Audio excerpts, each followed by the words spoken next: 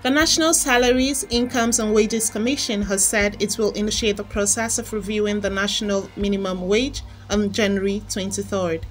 Recall that the President Muhammadu Buhari signed the Minimum Wage Act, which approved 30,000 naira for both federal and state workers in 2019.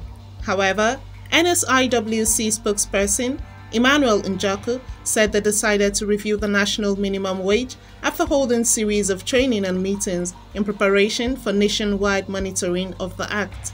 Njoku said, the exercise will enlighten the public and private employers and organizations on the economic benefits of adhering to the payment of the national minimum wage. It will help in obtaining baseline data on permanent policies and practices of private sector organizations to enrich the Commission's data bank on staff compensation. The monitoring exercise will cover the 36 states of the Federation, including the Federal Capital Territory.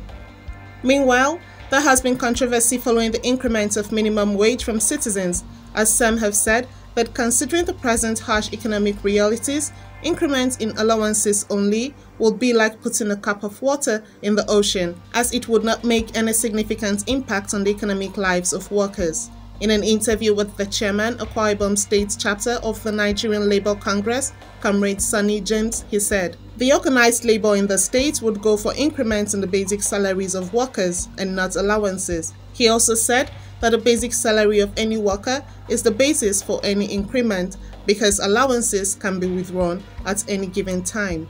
The chairman Trade Union Congress, Comrade Dominic Abang, while expressing concerns on the increase in allowances rather than basic salaries, said that it is always easy for the government to make promises, especially during election time, but when it comes to implementation, it is a different game.